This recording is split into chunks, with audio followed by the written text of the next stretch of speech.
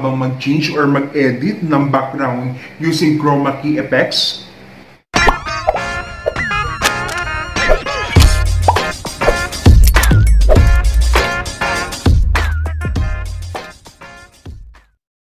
Let's go.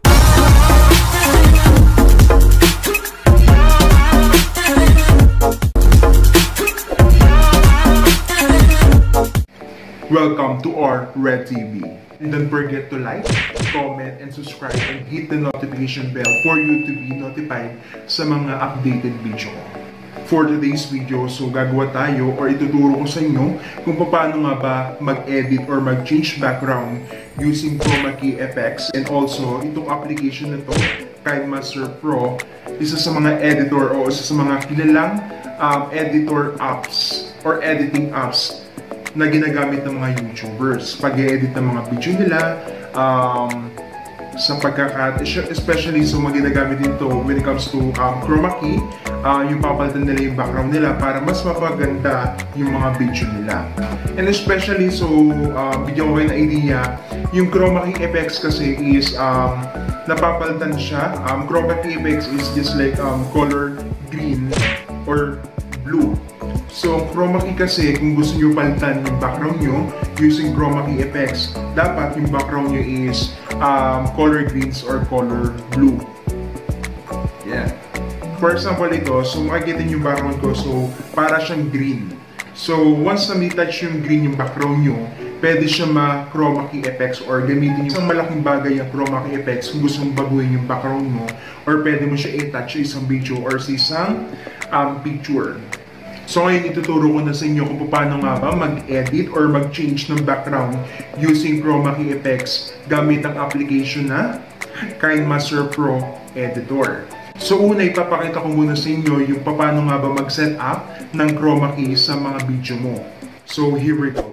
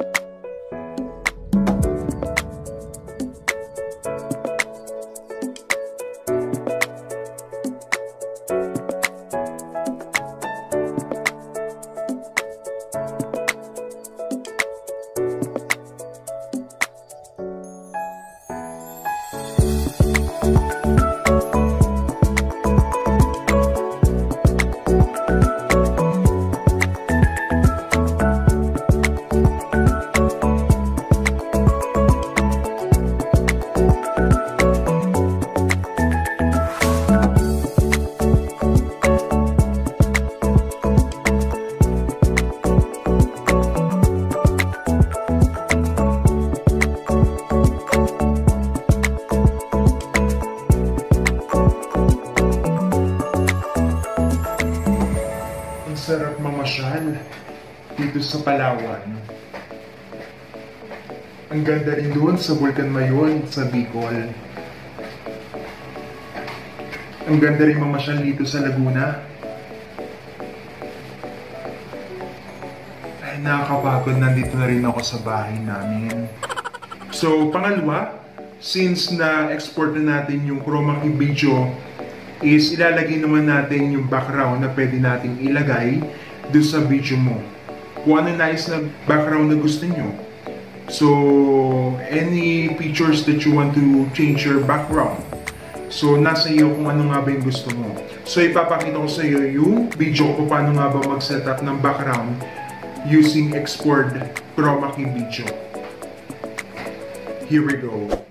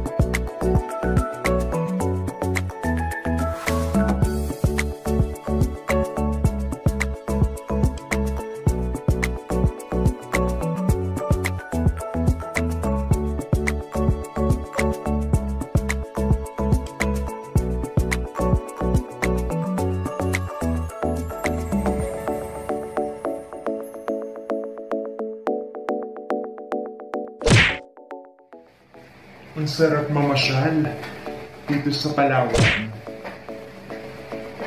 Ang ganda rin doon sa Bulkan Mayon sa Bicol.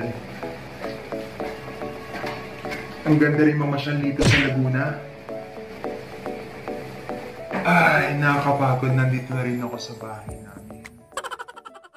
Okay, so shoutout nga pala sa um, sa nagsuporta sa akin. So patuloy na nagsusuporta sa akin. Then nakaka-touch kasi um, may nakaka-appreciate ng video ko at may natutunan sila sa video ko and um, thank you so much sa inyo lahat. So um, isa sa mga malaking bagay uh, kung bakit tumitibay yung loob ko um, sa pag-share ng mga tutorials uh, sa pagbibigay sa inyo ng mga YouTube features kung paano nga ba ito, paano gawin ito, at paano gamitin itong mga bagay na ito. So, shoutout nga pala kay Lakbay OFW and subscriber number 23 or subscriber 23 and um, Anhil Beauty Channel, The Moms. Then um, Queen and King Vlogs and Santa Garda um, Papsi and Momsy Channel um, Nels Vlogs, um, Rhea YT or YouTube, Rhea YouTube, um, Manong Edong, um, May Estelioso, um, Patrick Trix, Rad De Hoya, Cristel, then Liam. Then din naman sa previous um, video ko, so thank you so much din sa inyo. Um, dahil nag-comment kayo dahil um, nagbigay din sa akin ng confidence kung bakit nandito pa ako. So, si Marcus the Human, uh, si Robert Vita, and Dudoy and Duday Vlogs. So, thank you so much sa inyong support. Na. So, thank you so much sa pagko-comment lagi and thank you so much na na-appreciate yung video na ina-upload ko um, everyday na nag-upload ako. So, thank you so much. I hope na uh, na gusto niyo itong video nito and hope na may natutunan kayo sa video ito. And don't forget to like, comment, and subscribe and hit the notification bell for you to be notified sa mga updated video. Thank you. Bye.